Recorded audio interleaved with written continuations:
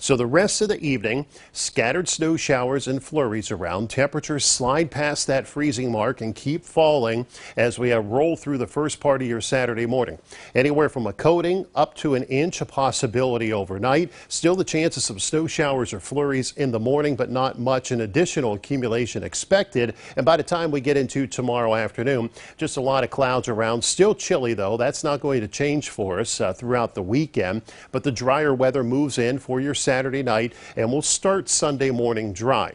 As the day goes on on Sunday, that southern storm system will start pushing in moisture by midday into the afternoon. This will be mostly snow, may see a little rain try to mix in, so a very heavy wet snow expected on into Sunday afternoon and evening, and this could add up anywhere from two to possibly up to four inches by the time we get into Monday morning. A 28 tonight, scattered snow showers, traced to an inch, still little gusty wind around this evening.